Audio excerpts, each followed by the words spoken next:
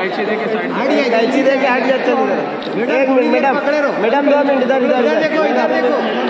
बेटा इधर देखो। चलो हट जाओ ये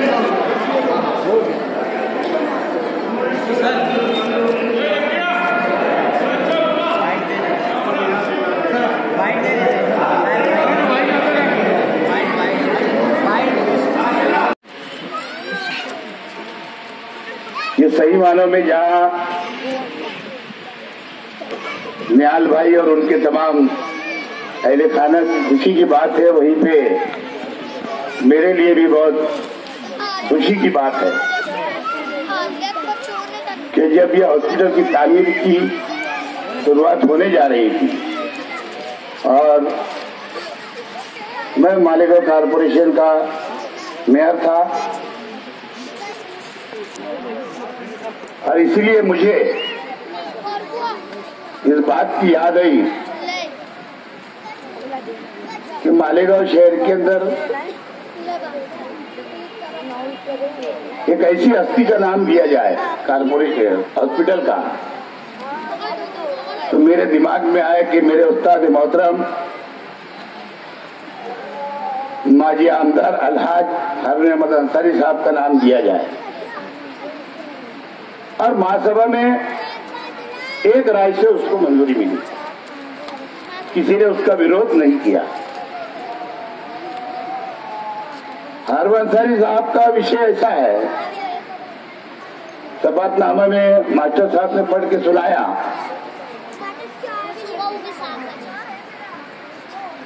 और हमारे मुख्तार अली साहब ने भी उनकी बातों में अपनी बात रखी। कि जब मुझे सियासत की, राजकरण की कोई सीढ़ी नहीं मालूम थी। इन्होंने बतलाया कि मैं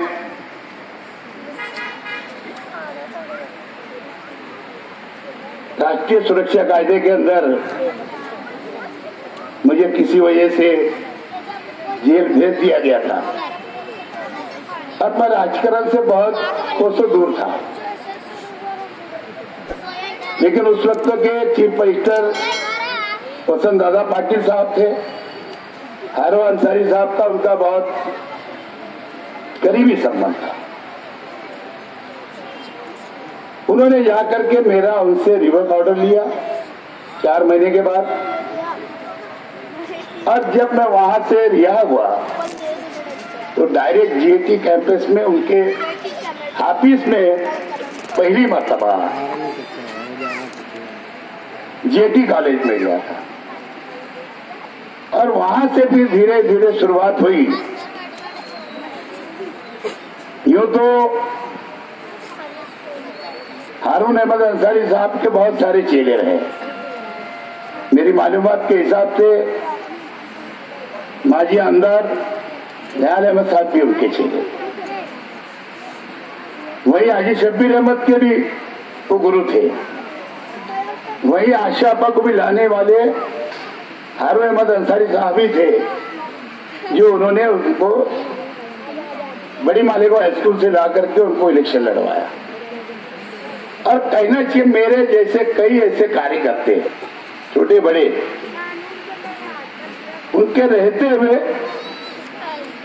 सियासी और सामाजिक कामों के अंदर आगे बढ़ते गए, उसमें से एक मैं था। कि अल्लाह ताला ने आप लोगों की दुआओं से मुझे और मेरे खानवादे को सियासी फील्डों में इतना आगे आप लोगों ने लाया। और मैंने हमेशा मेरे उस्ताद मोहतरम और मरूम हाजी शबीर अहमद साहब और उस वक्त की आशा आपा ने जो शहर के अंदर फ़िल्टर प्लान का काम किया था, इसी तरीके से हाजी शबीर अहमद के अनेक काम मालेगांव शहर के अंदर ज़मीन पर है। और उसको ध्यान में रखते हुए, उनके बताए हुए रास्ते के ऊपर चलकर, मैंने हमेशा मालेगांव शहर के अंदर विकास और डेवलप का रास्ता अपनाया। भले ही उसके अंदर कितने भी रोड़े अटकाए गए लेकिन हम और हमारी टीम रुकी नहीं। आगे बढ़ती गई और अल्लाह के करम से अगर मेरे महापुर रहते हुए इसका संख्या बुनियाद रखा गया तो आज की महापुर तायरा शेख के हाथों से उसका उद्घाटन हो रहा है। वही दो हॉस्पिटल और पहले तो सिर्फ़ वो वाडिया हॉस्पिटल था, उसके बाद में अली अकबर बना। उसके पहले एक सटायर रोड हॉस्पिटल बन चुका था। वो भी हाजी शबीर अहमद के टाइम की बात है उनके ज़रिए बनाया गया था। और वही आप, इसके बाद वाडिया और अली अकबर का जो विषय आया है, जहाँ यह तीस बेड का, दो ऑपरेशन थिएटर के साथ, तमाम सुविधा के साथ ये हॉस्पिटल शुरू होने जा रहा है, बल्कि जो आईसीयू वगैरह की बात हुई है, ये सही बात है असलम भाई ने बतलाया कि कारपोरेशन के लिए कोई दिक्कत की बात नहीं है, बहुत कम पैसे के अंदर आईसीयू सेंटर शुरू हो जाएगा। लेकिन सही बात है स्टाफ की उसके अंदर ज़रूरत होती है। और अभी जल्दी इंशाल्लाह गवर्नमेंट से मंजूरी आ चुकी है। कुछ दिक्कतें उसमें भी दूर हो जाएगी। और कुछ दिनों के बाद मैं समझता, जाहिरात निकल जाएगी। और आरोग्य डिपार्टमेंट का बहुत सारा स्टाफ नया, यहाँ पे सिलेक्ट हो जाएगा परमानेंट ऑर्डर मिल जाएँगे। और वो स्टाफ भी यहाँ पे काम आएगा। मैं एमबीबीएस डॉक्टरों से गुजारिश करूँगा। बिल्कुल सही बात है। कि गवर्नमेंट हॉस्पिटल, गवर्नमेंट हॉस्पिटलों में स्केल अलग रहता है, कारपोरेशन के हॉस्पिटल में स्केल कम रहता है। और इसीलिए मैं समझता हूँ कि हमारे एमबीबीएस डॉक्टर आने कारपोरेशन के अंदर ज्वाइन होने के लिए कतराते हैं। मैं गुजारिश करूँगा कि जो भी बच्चे मालेगांव शहर के एमबीबीएस हुए एमडी हुए एमएस हुए आर्थोपेडिक हुए ऐसे कई डॉक्टर्स हैं। अगर इन्होंने आयुक्त साहब से और आरोग्य अधिकारी मैडम से मैं बोलना चाहूँगा कि उनकी एक मीटिंग बुला करके उनका रोज एक एक दिन जैसा मुंबई और नासिक वगैरह के अंदर बड़े बड़े हॉस्पिटलों के बड़े बड़े डॉक्टर्स वक्त तो देते हैं। पहले सदार रोड हॉस्पिटल में ऐसा ही था। लेकिन अब वो बात नहीं है। भले उनको कुछ मेहनता ना देना पड़े। और कारपोरेशन वो खर्च उठा सकती है। उनसे एक मीटिंग बुला करके ताकि कोई ऑपरेशन करने के अंदर कोई दिक्कत नहीं आए।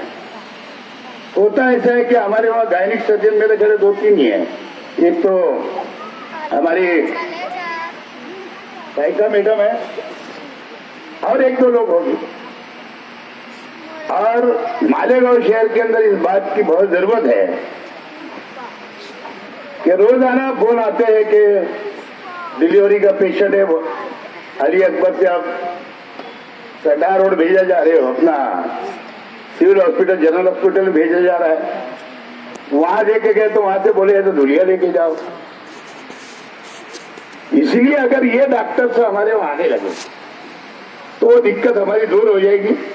एक खिदमत के तौर के ऊपर उनको मालेगांव कारपोरेशन के, दवाखानों के अंदर आना चाहिए और अपनी खिदमत को अंजाम देना चाहिए। आपकी खुद की भी जवाबदारी बनती है। दोस्तों, ऐसे ही कुछ दिनों के बाद संघीय बुनियाद रख दिया गया। दोनों हॉस्पिटल का डेमोलेशन करके मैं समझता हूँ काम की शुरुआत भी हो चुकी है, खुदाई वगैरह चल रही है। दो साल के बाद आप लोगों को दोनों हॉस्पिटल बड़े सौ सौ बेड के, तमाम सुविधा के साथ लेस आपको दो साल के बाद में मालेगांव शहर को वो भी एक तोहफा मिलेगा। वो भी हॉस्पिटल जो आज जो ठेकेदार ने, जो एजेंसी ने ये हॉस्पिटल बनाया है, जो अभी दारी दारीवाल साहब का मैंने यहाँ इस्तेमाल किया आप लोग के सामने। उनको ही वो भी दोनों काम मिला है, उनकी कंपनी को। और वो करीब तीस पैंतीस करोड़ का काम है। वही कटार और हॉस्पिटल के बाजू में महिला बाल कल्याण हॉस्पिटल का काम की शुरुआत हो चुकी है। और वहीं पे जूना हॉस्पिटल जो हमारे वहाँ पे अभी भी महिला बाल कल्याण हॉस्पिटल चलता है। हमारे लोग जो है सिर्फ़ वाडिया या सिविल हॉस्पिटल तक ही महदूद है। हमारी बहनों को वहाँ भी जाना चाहिए। वहाँ कोई ऐसी बात नहीं होती है कि वहाँ आप लोग का इलाज नहीं होगा। आपको जाना चाहिए, बेझिझक जाना चाहिए, वो आपके लिए, हमारे शहर के लिए बना है। पूरे तालुके के लिए बना है, पूरे शहर के लिए बना है। वहीं एक कैंपों के अंदर एक सीएसआर फंड से एक हॉस्पिटल की तामीर शुरू है। एक दयाने के अंदर पाँच करोड़ की लागत से जिस तरीके से तीस बेड का यह हॉस्पिटल बना। उसके भी काम की शुरुआत हो चुकी है। मालेगांव शहर के अंदर कारपोरेशन की ओर से हॉस्पिटलों की, इंशाल्लाह, कमी नहीं रहेगी जितनी आबादी हो गई है। उतने ही हॉस्पिटल कारपोरेशन की तरफ़ से तामीर हो रहे और शुरू हो रहे इसके अंदर भी बहुत राजकारण हुआ अली अकबर और वाडिया में। कोर्ट तक मैटर गया। लेकिन आयुक्त तो साहब और हमारे उपायुक्त तो और हमने मिलकर के लोगों को समझाया, उसको भी सॉल्व किया। अब इंशाल्लाह कोई दिक्कत नहीं है। दोस्तों मैंने पहले ही बताया कि मैंने सिर्फ़ और सिर्फ़ हारून अहमद अंसारी साहब और हाजी शबीर अहमद के जो विकास पुरुष लोग थे, उनके रास्ते में मैं चला और शहर के अंदर कोशिश किया कि शहर का किस तरीके से विकास होगा, डेवलप होगा। आज क्योंकि राजकारण करने का विषय नहीं है, छब्बीस जनवरी का दिन है, बहत्तर साल हमारे को पूरे हो गए हैं। इसकी भी मुबारकबाद देता हूँ। आप लोग को तिहत्तर साल में हमने कदम रख दिया है। आज आगे भी इंशाल्लाह शहर के लोगों ने अगर हमको मौका दिया तो ज़रूर ये शहर के अंदर अच्छे ढंग से अभी हमारी प्लानिंग है, इंशाल्लाह एक पंद्रह बीस दिन में या महीने भर के अंदर शहर के अहम रास्तों का और बाहर से एंट्री रास्ते जितने हैं, ऐसे 200 करोड़ के काम का टेंडर इश्यू होने वाला है। ताकि शहर के तमाम रास्ते जैसे सीमेंट, कंक्रीट, आगर रोड और कुसम्बर रोड और दीगर रोड बनाए जा रहे हैं। वही तत्व के ऊपर पूरे शहर के अंदर हिंदू मुस्लिम इलाके के अंदर वो रास्तों का काम होने वाला है। क्योंकि हमारे आयुक्त तो सब सही बात है।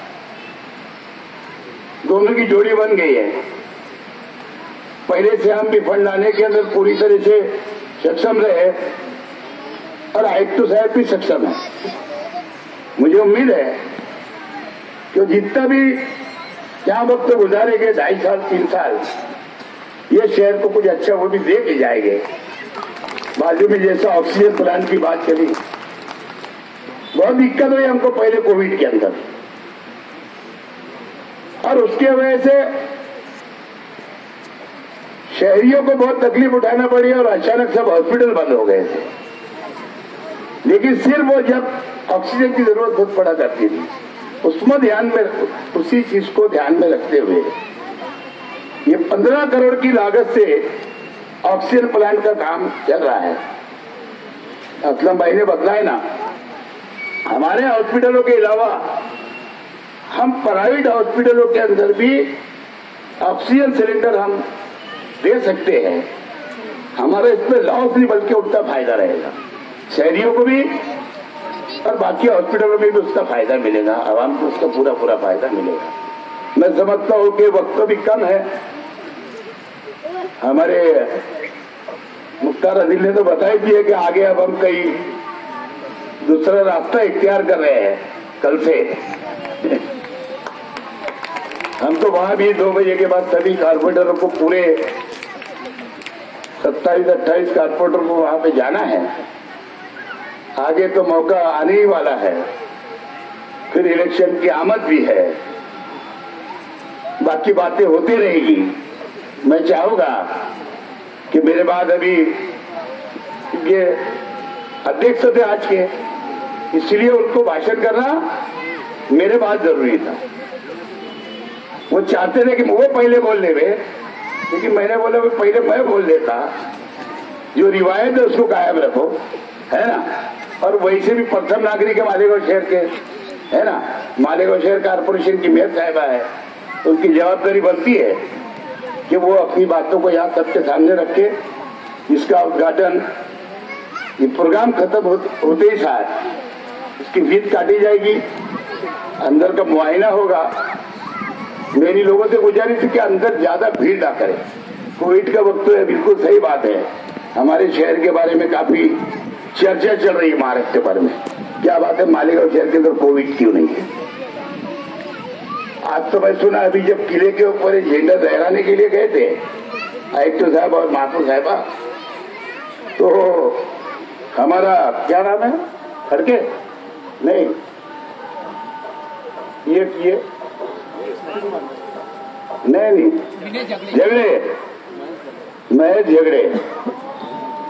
पैतरी इतनी जुड़ी है ना वो, किले की ऊँची ऊँची है सब। और महापौर साहब आयुक्त साहब बाकी लोग फटाफट चढ़ गए। वो बोलता है, सर, ये जितने जो मटन खाने वालों का है बोले क्या कोई तकलीफ़ नहीं होती? पैंतीस सही बहुत बड़ी बड़ी है। इसलिए वो यंग बच्चा है, लेकिन उसकी हिम्मत भी हो रही थी और खाने लगा था मेरे बोलने का मतलब। तो कोविड भी यही वजह से नहीं असल में हमारा इम्यूनिटी पावर बहुत है इसके अंदर।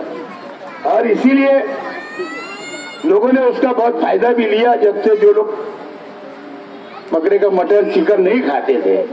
उन लोगों ने भी खाना शुरू क्योंकि उसका फ़ायदा लोगों को दिखा और मिला। ठीक है वेज के अंदर भी उससे ज़्यादा विटामिन रहता है। लेकिन ये बीमारी के लिए क्या चीज़ ज़रूरत है, वो भी लोगों को सीखने मिली। बहरहाल आप लोग हमारे बुलाने पे आए। आपने बड़ी बड़ी तारीफ़ किया निहाल भाई। तारीफ़ का विषय नहीं। मैंने कोई आपकी फैमिली पे एहसान नहीं किया।